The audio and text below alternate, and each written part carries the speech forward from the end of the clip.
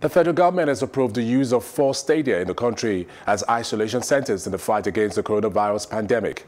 These include the National Stadium in Surulere, Lagos, Liberty Stadium, Ibadan, MKO Abiola Stadium, Abuja, and Ahmadu Bello Stadium in Kaduna. Also, the National Youth Service Corps NYSC orientation camps nationwide will be used as isolation centers.